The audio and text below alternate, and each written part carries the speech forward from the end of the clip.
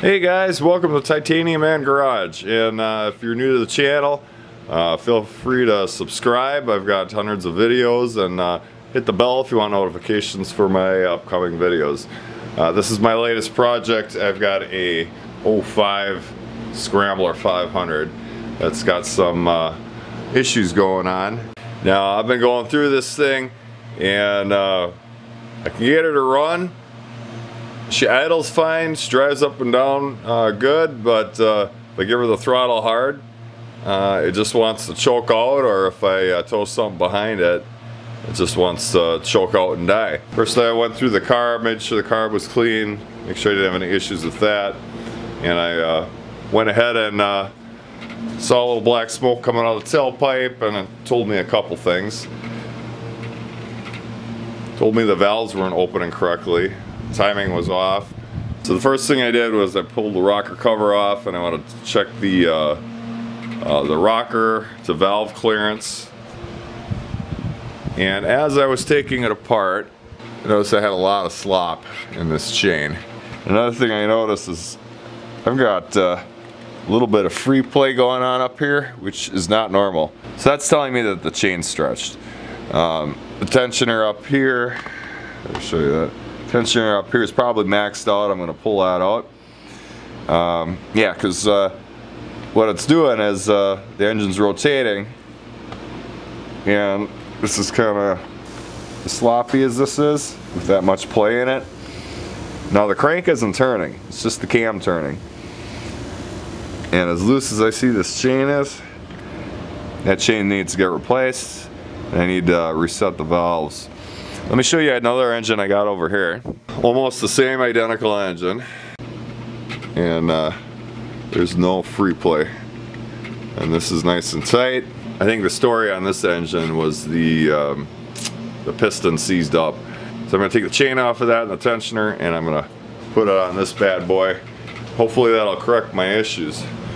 Uh, like I said, it was uh, blowing a little black smoke, which right away was telling me that the uh, the valves weren't opening at the correct time. Um, or could be possible uh, valve seals uh, are leaking. So here's my quick tip of the day.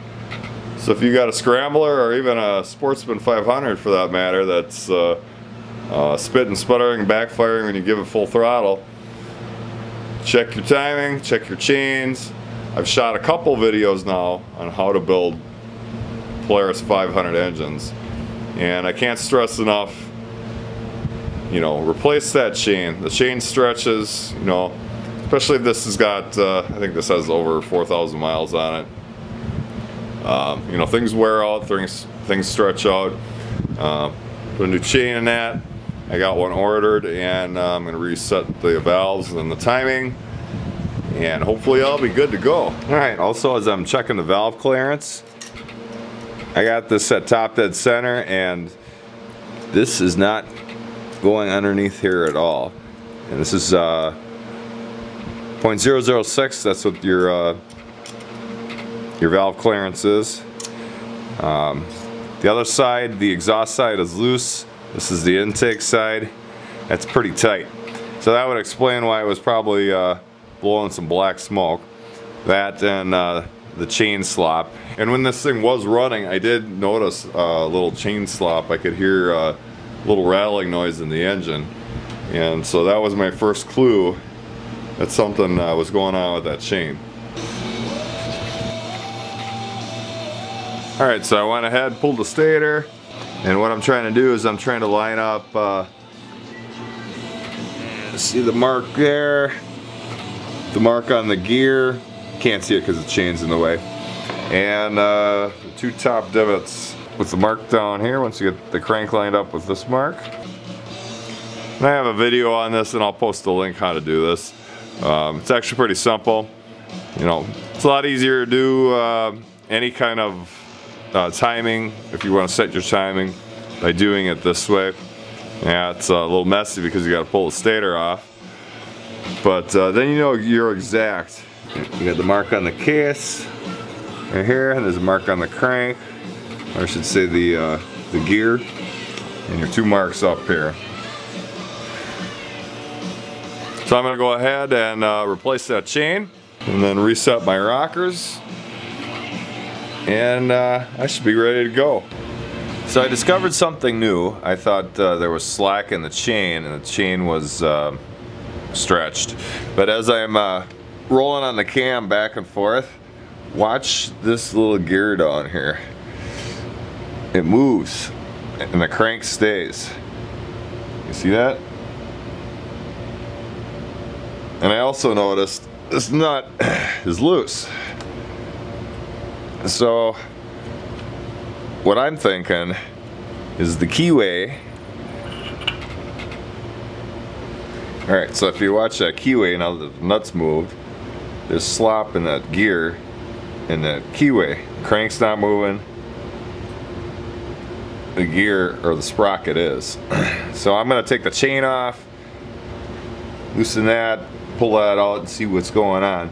Because uh, that's obviously throwing the timing off and uh, throwing off the uh, the valves which is probably why it's blowing a little black smoke I'm sure uh, intake's opening before the uh, exhaust should be um, something something's not right so I'm gonna go ahead take that apart see if that keyway is worn and I'm gonna take the chain tensioner off first then the uh, cam sprocket and then uh, I'll go from there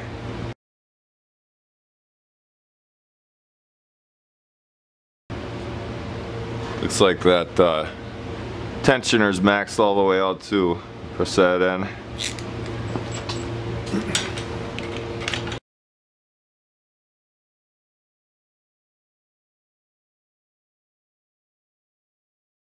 Go ahead and take this off.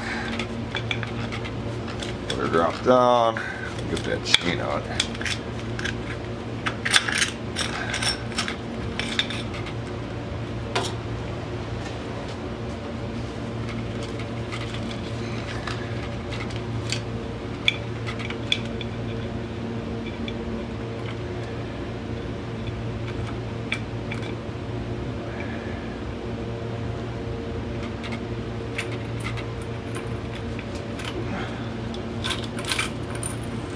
pull it out that way. Alright, I'm looking at that sprocket. Let's see if there's any uh, wear in there. And I'm looking at this keyway.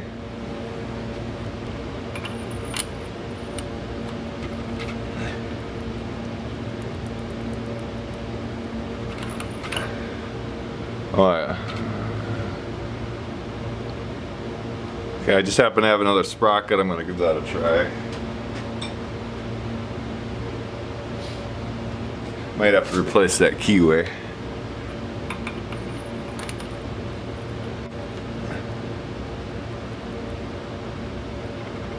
Okay, that's got some slop in it. You know, we can see that keyway that's right here. Oh, it's actually about ready to come out. I'm gonna pull that out and, and inspect it. Um, it's probably worn out, so I'm gonna replace it. Alright, so here's that keyway. She's got a nice groove in it. Maybe you can see that in the camera. See that line going across there. Alright, so I just replaced that keyway. And uh, let me show you how she fits now. Nice and snug, it's not moving. Just gonna pop that in there and put the chain back on. Alright, so I went ahead and I tightened her up real tight. And now I'm in the middle of uh, setting uh, the timing. So there's a timing mark here, there's a timing mark on the sprocket. There's a silver link on the chain. And up on top.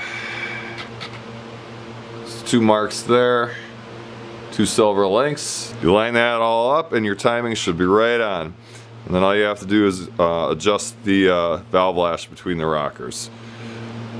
Let me show you. She's nice and tight now. I'm wiggling the cam sprocket and that is not moving. So my guess is this nut came loose. The uh, sprocket was moving in and out, wore the keyway, and uh, threw the timing off. So yeah. And uh, also don't forget to tighten that nut when you put it back on. I just uh, moved that out of the way to make the chain go in and out easier. And once I get this bad boy back together, I'll show you how she runs. Alright guys, so I was going to show you how it fires up and uh, I started it up and it uh, idled for a couple seconds and then nothing. So I've been going through my carbs thinking uh, okay uh, maybe I'm getting too much gas. I saw some uh, gas coming out of the carb and uh, it got me thinking. Let me double check the timing. You can see I got the T for top dead center and now that I'm looking at my my cam gear, the two divots aren't on uh, the top like they should be. So I started pulling the flywheel off.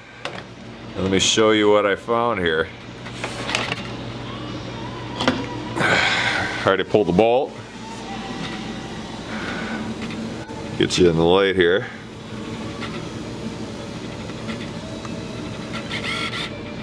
I had sheared the keyway off. So keep that in mind too if you're having issues with uh, with it not starting. My keyway is actually on the bottom. That threw the timing completely off. So here I thought, uh, here I was cleaning the carb, trying to go go through everything. I thought, well, let me double check my timing because uh, after two or three revolutions, the chain will make the tensioner move a little bit and uh, you just want to ch double check your valve lash after that because the chain will tighten up. So yeah yeah here I'm trying to fire it up and uh, run for a couple seconds and die. So keep that in mind. That could be one of your issues you know you shear the keyway off. Your timing is going to be completely off. Because uh, this little part right here won't engage with that. that. That's your pulse coil. That tells your spark plug when to fire. So if your if your uh, keyway is sheared off and your flywheel's off, and it'll spark at the wrong time. Uh, how I figured it out was uh, I saw gas shooting out of the carb.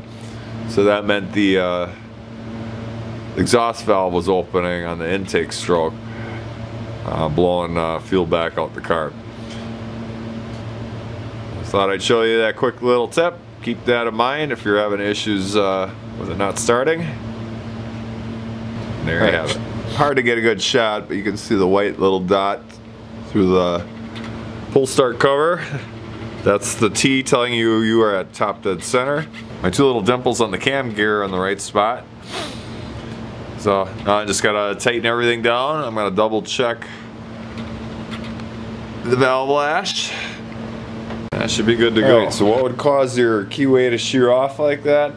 Um, one thing I can think of right now is I was uh, messing around with my carburetors and I grabbed uh, an aftermarket carburetor and I put it on. And once I went to fire it up, I noticed it was leaking gas out of the bottom. So I'm thinking fuel got into the cylinder and hydro locked it. So, you know, obviously it's not going to spark. Piston's pushing up, push compresses all the uh, fluid inside, and at the same time, while you're starting it, would shear off the keyway for the flywheel.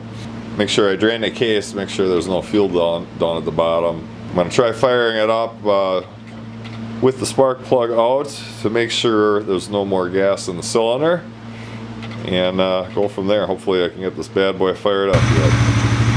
There you have it. Problem solved.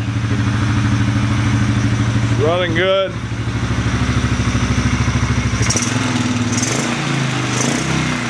Let me show you what this bad boy can do.